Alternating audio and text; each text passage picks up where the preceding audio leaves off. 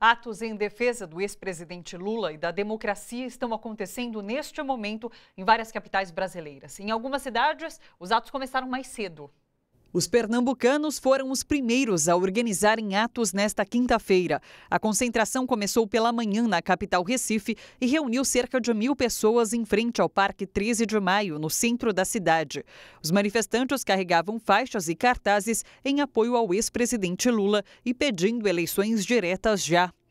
Em Salvador, na Bahia, estudantes, professores, movimentos sociais e centrais sindicais realizaram uma marcha do Largo do Campo Grande até o Fórum Rui Barbosa, no centro da cidade.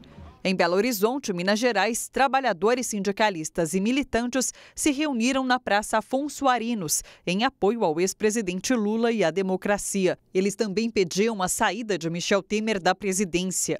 Movimentos sociais e trabalhadores também apoiaram o ex-presidente Lula em Curitiba, no Paraná.